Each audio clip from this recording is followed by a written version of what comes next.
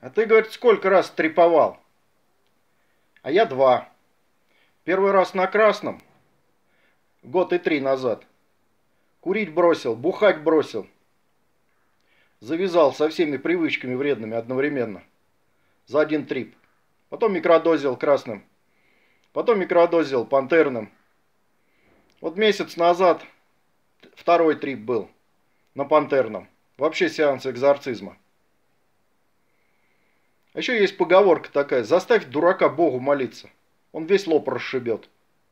Это, к слову, о тех, кто постоянно трепует, хотя сам не понимает зачем. Задумайтесь.